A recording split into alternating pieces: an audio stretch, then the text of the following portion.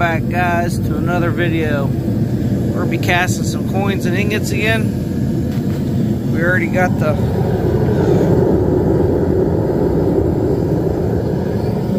forge going. We got a pile of copper. We're just gonna see what we can get going.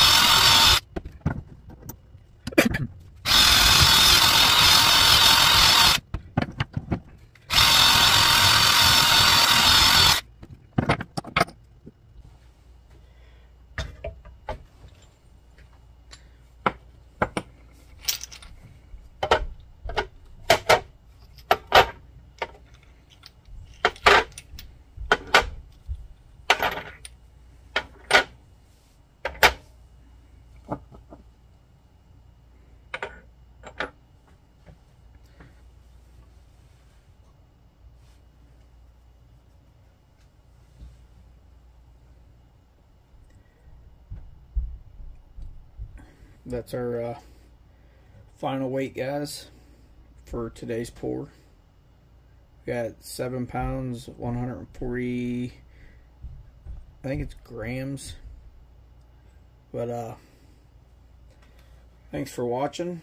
Please like and subscribe, and uh, share if you guys want. I appreciate you all watching. See you guys on the next one.